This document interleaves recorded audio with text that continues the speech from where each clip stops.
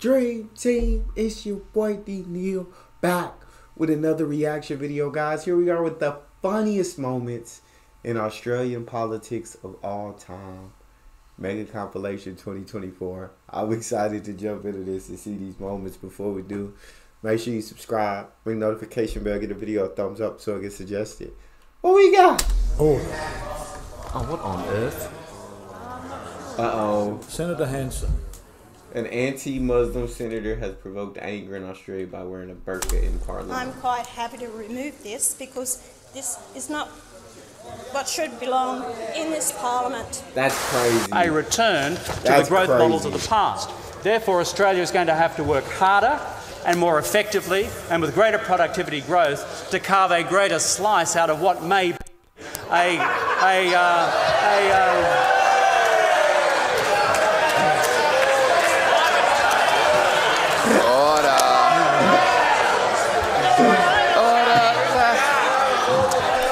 The, the, the power just went out on him for a sec. Is that what happened? That the power just was like, "F what he talking about." Order. Order. The House will come to order.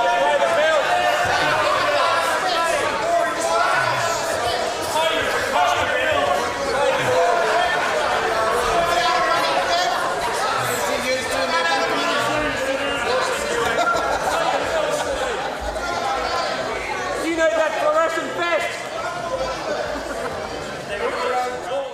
And there's been a power loss through the entire parliament, so that's where we'll leave the House of Representatives. Springs and sprockets all eh, over the building. Are you accepting it? No, of course not. It's rubbish. The government is not accepting it. We'll pick it up in two weeks' time. Order! Mr. Speaker, Order! give him a The Valium. government- I have a further personal explanation to make today. Better be better than the first two. Oh, Madam Speaker, that sort of commentary. The member for Isaacs will remove himself on 94A. Today, it better be better than the first two. I ain't got, I ain't got time for no much of your trash, no more of your trash proposals. I'm getting older by the second, so it, make it worth my time. You control. You're a disgrace.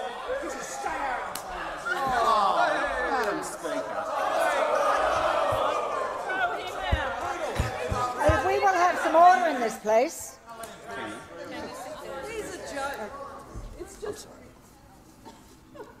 The executive president, the House is not in order. It's just that they ain't got nothing to say when they get caught in those moments. They're not specific when they say like, know what I'm saying? Certain you can't. I don't know. You can't group a whole people. There could because there's bad people in every group of people, in every race of people, in every nationality of people, and there's there's bad people. You can't group a whole group of people because of certain things. Some bad people in that group. did. that, that's ignorance. Uh, yeah, that's dumb. Order. It must be shut down. I have to. Mr. Deputy Speaker, there's no member of the executive president. The House is not in order. It must be shut down immediately. Standing orders are very clear. There's no member of the executive president, Mr. I'll just Speaker. ref- refer to the clerk. I'll call the clerk. There's no member of the executive president, Mr. Deputy Speaker. He wasn't here, Mr. Deputy Speaker. He was not here. Last time this happened, Alexander Downer went to the men's room. Mr Deputy Speaker, point of order. I made a point of order several moments ago. There was no member of the executive present. He was outside. The House should have been shut down at that moment. At that very moment, Mr Deputy Speaker, you I- can't buy time to allow the member to wander back into the House. You were not here. I- You were outside. Everybody member for- saw it. the You mem- were not present. You wandered away. The member for Marn will be seated for a second. I've referred to the clerk. The clerk's advised me to continue with proceedings. I call the member for Go, Marn. point of order. There was no member of the executive present. It was very clear. We all saw him outside. He was not in the chamber. He can Calm down, bro. He's here now. Calm down. Uh, obviously, I don't know what's going on with the politics in that room, or know what I'm saying. But uh, my guy, he's here. He's, now they can proceed. God, yeah, he about to have, he about to blow a gasket, dog. He about to have an aneurysm in that bad boy. cannot now claim he was magically here the whole The, time. the mem- member for Marn will be seated again. I've referred to the clerk. The clerk has advised me to continue with proceedings as a. respect for the clerk. I did I've- not make the point of order to the clerk. I made it to you. You should have ruled on my point of order at that moment. And I- and you did not. the member you for gave the honourable member seated. time to wander back into the chamber when he was The not member physically present. McMahon will be seated. What an incompetent government, Mr Speaker. House duty is not that complicated, Mr Deputy Speaker. You sit in a chair, and when you're not here, you admit you weren't here. This is a minister who couldn't even admit he wasn't here. Couldn't even admit it. Couldn't even have the decency and the honour to say, sorry, I got it wrong. I forgot to sit in the chair, Mr Deputy Speaker. That was such a complicated task I had at hand. I didn't know what to do. She Says it all about his government. One job, Michael, over here.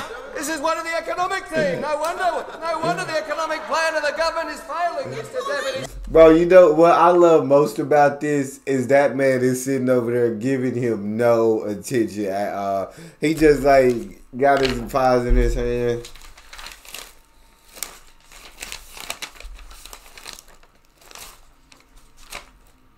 This man having a whole fit and that man is just absolutely chilling, just ignoring the entire thing, bro. He is not fazed one bit. Speaker, one of the government's economic team, one of the so-called brains trust, can't even get house duty right. And that, that's what we see more and more is the fact that this government is incompetent at every level. No wonder Pauline Hanson's running the show, Mr Deputy Speaker. It does look like you'll be joining us in the Senate. It's an amazingly interesting place, and I'm sure you'll make it more interesting.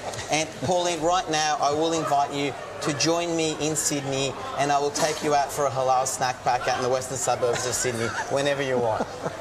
Not happening. Not interested in halal, thank you. Not interested in it. I don't believe in halal certification. Uh, so let's. It's gonna be a let's- very, make very very interesting there. time. It's gonna be a very interesting time. 98% of Australians don't want halal certification. So we'll sit down and we'll have a good It's going to be a very this. interesting change. But on a serious note, Oh, though, we'll go- oh, here congratulations. Pauline. Here we are going congratulations. again. But the leader Oh of the God.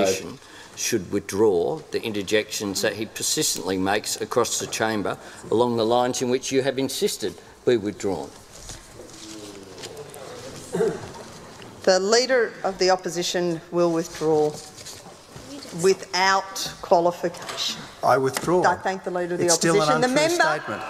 the Leader of the Opposition will remove himself from the chamber under I withdraw. It's still an untrue statement. 94A and to continually ignore that the member for Mackellar, the member, the Leader of the Opposition has now been advised by the chair on more than one occasion, and I asked you as you approached the dispatch box to do it without qualification. You could not help yourself.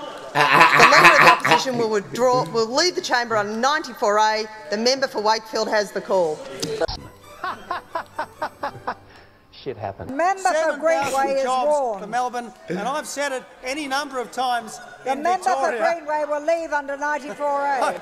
The members for Batman, Corio will leave under 94A. There will be silence. The member for Hotham will leave under 94A. they kicking everybody out. She kicking. She said, "I'm not having it, Doc. Yeah, if I could, you talking, you up out of there. 94A. Out. Uh, you, you talk 94A. You out, huh? Did you cough? 94A. You out of here. Sneeze? 94A. The member will resume his seat and leave under 94A. The Prime Minister has the call. Uh, Is the leader, of the manager of opposition business, uh, anxious to join the member for Hunter? No, I'm not. Uh, but if I've got the call, I'll take a point of order. Indeed. How is the member for Hunter meant to resume his seat and leave the room? He can do it. That's what I was sequentially. It's quite thinking. clever. The member will resume his seat and leave under 94A. Can't see who's yelling for your back. Was that the member for Melbourne Ports? Well, in that case, you may leave under 94A. The member for under 94A. The member will resume his seat, indeed, having sat down, she too will leave under 94A sequentially. I, the member for Moreton will leave under 94A. Uh, risk of adding to the total, I should note that 18 people in one question time is an all-time record since Federation. You don't write crap. The Leader of the Opposition is the Mr Potato Head of Australian politics. He's the Mr Potato Head. You can put whatever face you like. The count is done by the tellers, and pairing arrangements, if they exist, are a matter for the whips. The original question was that the, I'm addressing the House. The, I'm addressing the House member for Corangamite. The original question was that the motion be agreed to, to which the honourable member for Dawson has moved an amendment. The immediate question is the Leader of the House Hey. will cease interjecting. And up until this point, most people working in this building know that it's safe. I don't think it any longer is. And to demonstrate that, this morning I brought in what could be, I brought this through security, a pipe bomb. Um, I also brought in, when I was a kid, we used to blow stumps out on the farm 50 years ago. Um, we'd, get, we'd get some nitropril, a, a quart of distillate, a plug of jelly and a detonator, light the bloody thing and go to buggery. We could blow a tree the size of this building out of the ground. At the present time, there's nothing to stop anyone from bringing those ingredients in here over a period of time through security. Would you agree? Well, Senator, under the current arrangements, that is a, a risk, yes. No, 62. The question is therefore Yeah. resolved in the But what you bring it? in, I just, I guess I understand this point. I guess I understand this point. I would have grabbed him and kicked him out right there. Well, now that you- we know you brought it in, get up out of here. affirmative. The member for O'Connor is suspended from the service of the House for 24 hours under Standing Order 94. Just undermine my high opinion of you.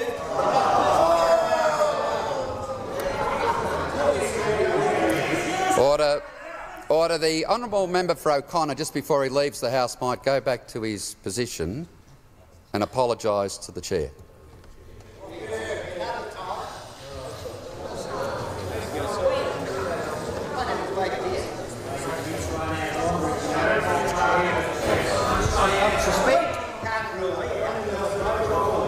Oh, we'll deal with him when he returns.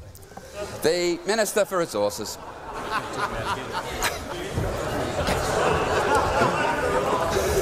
A woman sidled up to me and she said, uh, Tony, whatever you do, don't stop wearing the speedos. And I said, well, I don't intend to stop wearing the speedos.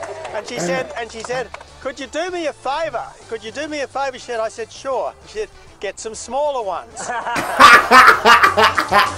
well, I've got to say, coming out of that water, I have smaller ones. I really do. I'm absolutely thrilled to answer the question because you know what? It's been 260 days in this place and I've never been asked a question. Never once. Never once. That's it. That's their attitude to agriculture. And the first question I get asked for by agriculture is for the member for Sydney, isn't it? The member for Sydney. the member for Sydney. And what's the question? You'd think they'd ask a question about how in uh, May we had record movements of beef. Over 108,000 tonnes of beef.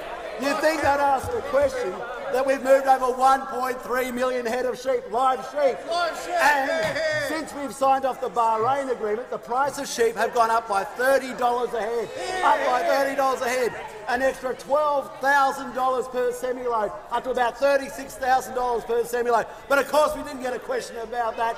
You think they'd ask a question about the 585,000 head of cattle we've moved in the live cattle trade, something that you were responsible for shutting down. But of course, no, we didn't get a question about that. You think we may have got a question about the drought package that we have rolled out, over $700 million in concessional loans. But of course, we didn't get a question about that. We got a question about a rumour, a rumour, a rumour. So I've heard enough. like I said, all the great things that we done did, all the great things that we done did. Never, never once asked us about that. But this rumor you heard something bad we might have did or that we didn't do and should have did. That that's what this question about. Okay, okay. He said, "Hold my beer. Let me answer this." Another rumour. Here's a rumour. I've heard that the member for Sydney wants the leader of the opposition's job. Someone from the New South Wales right, from the New South Wales right, got uh, conv- convicted by the ICAC for corruption. Oh, hang on, that's not a rumour. That's the truth. Eddie Obeid. Oh no, that's not a rumor. That's the truth. I heard another rumour. that Someone from the New South Wales right, the New South Wales right, also wants your job. Tony Burke. Tony Burke wants your job. Well, that's not a rumour either. I heard another rumour that the member for Lilley is still in the chamber. No, it's the truth.